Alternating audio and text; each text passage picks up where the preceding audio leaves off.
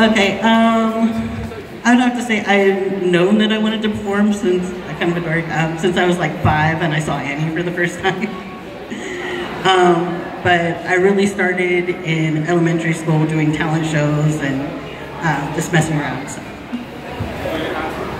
Um, I started about uh, maybe seven or eight. Um, I was putting on shows in my grandma's house, entertaining my mom and my grandma. My grandma would dress me up, and I, of course, boy clothes that back then because they didn't know. But um, and I was performing to Mexican artists like Marco uh, Solio, uh, Antonio Solis, uh, Juan Gabriel, all the, the famous artists. Um, and I remember my grandma would put a sheet across the doorway and then just draw it back when it was time for me to come out. And my mom and my uncles would be my, my audience. I started plays at school. And um, till eventually, after in high school, I wanted to do more than just plays.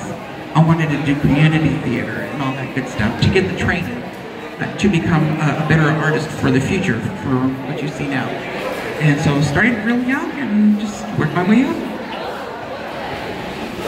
Oh, honey, I've been performing since I came out the womb, honey, okay? as soon as I came out, Glitter shot out and Born This Way started playing, all right?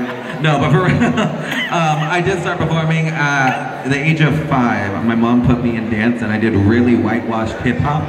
And then um, I did like musical theater, got Darren's Dance Groups, y'all remember that? and then I did musical theater and yeah, and I went on and kept going and theater introduced me to drag.